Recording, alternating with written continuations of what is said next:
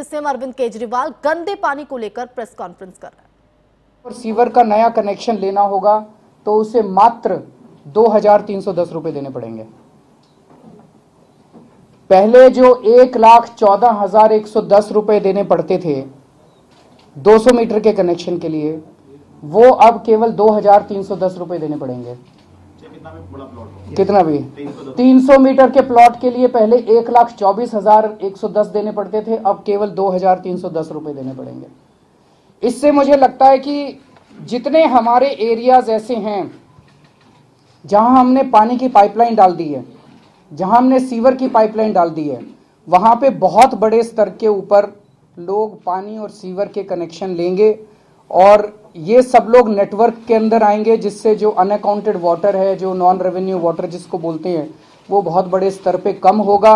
वो सब हमारे मेन स्ट्रीम के अंदर आएँगे और इससे पूरा सिस्टम जो है वो सुधरेगा। इसके ऊपर अगर आप कुछ पूछना चाहते हैं तो बताइए।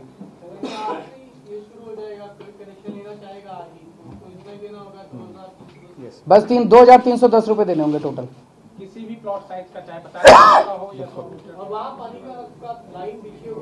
तो नहीं पानी की लाइन नहीं है तो वो कनेक्शन किस चीज़ का ले? जहाँ जब हमारी सरकार बनी थी जैसा मैंने आपको बताया था कि 58 परसेंट दिल्ली में पानी की पाइपलाइन थी अब 93 परसेंट दिल्ली में पानी की पाइपलाइन है। धीरे धीरे बाकी दिल्ली के अंदर भी पाइपलाइन पहुँच जाएगी। तो जहाँ जहाँ पाइपलाइन पहुँच चुकी है वहाँ पे पानी का नया कनेक्शन ऑफिशियल कनेक्शन लेने के लिए आपको इतने पैसे जमा कराने हैं। ये maybe a weeks time अब आज जल बोर्ड ने निर्णय ले लिया। बस अब इसको लागू नोटिफिकेशन वगैरह हो जाएँगे जल्दी। एक पानी पर ही सवाल है। जो पानी जिसको आप कह रहे हैं कि सही नहीं है तो उसमें रामविलास पासवान जी ने कहा है अगर इतना अच्छा पानी है तो फिर आप अपने दफ्तर, सरकारी दफ्तर से लेकर सब जगह से आर हटा दीजिए और नल का पानी पीजिए। देखिए, मैं पानी के ऊपर राजनीति नहीं करना चाहता। इनमें से किसी को भी दिल्ली के पानी से कोई सरोकार नहीं है, केवल पानी को लेके गंदी राजनीति की जा रही है। मेरा आप लोगों के माध्यम से एक ही निवेदन है, अगर कहीं गंदा पानी आ रहा है, आप हमें बताइए, हम ठीक करा देंगे। मेरा ऑब्जेक्टिव दिल्ली के लोगों को साफ़ सुथरा पानी पहुँचाने का है। ये तूतू मैमे में और राजनीति में मेरा कोई इंटरेस्ट नहीं है। जब हमारी सरकार बनी थी 2300 से ज़्यादा ऐसे इलाके थे जहाँ पे गंदा पानी आया करता था। आज सवा सौ से कम इलाके बच गए हैं दिल्ली में, जहाँ पे अभी गंदे पानी की शिकायत है। हम कोशिश कर रहे हैं। हमने 2300 से घटा के सवा सौ पे ले आए हैं। इतने सारे इलाकों के अंदर मैं आपको कुछ उदाहरण देना चाहता हूँ। जैसे संत नगर है। संत नगर में पानी की पाइपलाइन बदली हम लोगों ने 2018 में।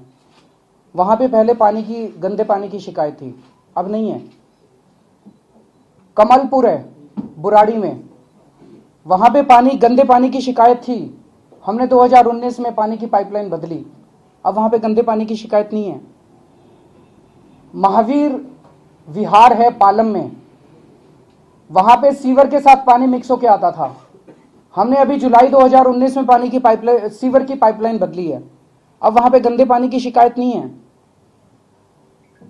करावल नगर में डी ब्लॉक खजूरी है। वहाँ पे हमने 2018 में पानी की पाइपलाइन बदली थी। पहले गंदे पानी की शिकायत थी, अब नहीं है। इसी तरह से मैं आपको अभी जैसे पंद्रह एग्ज़ाम्पल दे सकता हूँ। ऐसे कई सौ कॉलोनीज हैं, मैंने आपको बताया तेईस से ज़्यादा कॉलोनीज थी जहाँ गंदे पानी की शिकायत थी। लेकिन अभी कुछ एरियाज़ हैं, हम खुद मानते हैं। सत्तर साल की समस्या थी, सत्तर साल के अंदर इस सिस्टम को खराब किया गया था। सत्तर साल का खराब सिस्टम केवल पाँच साल के अंदर तो ठीक नहीं हो सकता। जैसे धूमवती वाली गली है, पालम गाँव में वहाँ अभी भी गंदे पानी की शिकायत है। वहाँ हम पानी की पाइपलाइन बदल रहे हैं। दिसंबर के महीने तक बदल जाएगी। उसके बाद वहाँ पे गंदा पानी आना बंद हो जाएगा। दीपक विहार है विकासपुरी में। वहाँ गंदे पानी की शिकायत अभी भी है। वहाँ हम पानी की पाइपलाइन बदल रहे हैं, वो भी दिसंबर तक बदल जाएगी। उसके बाद गंदा पानी आना बंद हो जाएगा। के फाइव ब्लॉक विकासपुरी है, विकासपुरी में। वहाँ भी गंदे पानी की शिकायत है। जनवरी के महीने तक वहाँ पे पानी की पाइपलाइन बदल जाएगी। वहाँ गंदा पानी आना बंद हो जाएगा। पटपड़गंजे में मंडावली गाँव है। वहाँ पे पानी की, गंदे पानी की शिकायत है। वहाँ सीवर और पानी दोनों की पाइपलाइन बदल रहे हैं। वहाँ दिसंबर तक पाइपलाइन बदल जाएगी, वहाँ भी गंदा पानी आना बंद हो जाएगा। तो जो बची हुई कॉलोनियाँ हैं, जहाँ गंदा पानी आता है, वहाँ पे सरकार लगी हुई है और बदल रही है। फिर भी अगर कोई ऐसी कॉलोनी है, जहाँ पे किसी को भी गंदे पानी की शिकायत है आप आके हमें बताइए हम उसको ठीक कराएँगे। इस पर राजनीति बंद कर देते हैं। वो हो रहा है वो चल रहा है वो चल रहा है। उसके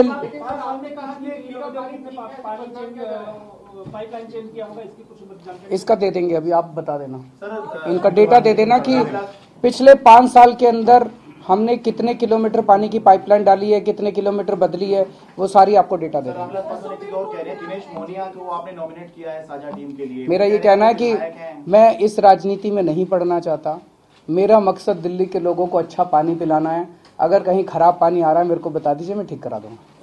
खत्म इस एनजीटी के आरओ वाले फैसले को मेंटेन रखा है कहा है कि जहाँ पे टीडीएस 500 से कम है नहीं लगने चाहिए जो रिपोर्ट अभी आई है बीआईएस की जिसमें दिल्ली के पानी के साथ की बात हुई है। उस पर भी ये फैसला इफ़ेक्ट करेगा। आपका क्या इस पर रिएक्शन है? जो भी सुप्रीम कोर्ट के और एनजीटी के आदेश होंगे हम उन आदेशों का पालन करेंगे। सर एक सवाल ये है कि राजेंद्र पाल गौतम जी की तरफ़ से एक ट्वीट किया गया था राम और अभी पानी की बात करें।